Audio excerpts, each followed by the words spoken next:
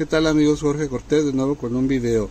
Actualización del sistema disponible. Reporte de mi Essential Phone PH1. Que no se rinde el telefonito. Es increíble que sale cada mes.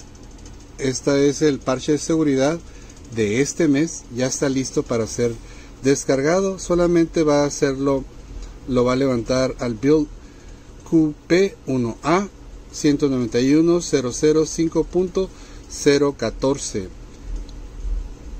y es pequeñísimo de 14 megabytes así que lo voy a descargar.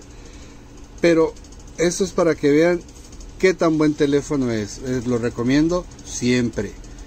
El precio pues sigue bajando sigue manteniéndose en alrededor de unos 100 150 dólares. Y puedes encontrar la cámara que se vende del 360 también muy económica. Por cierto sus cámaras están excelentes el rendimiento de la batería sigue siendo muy bueno dos años después.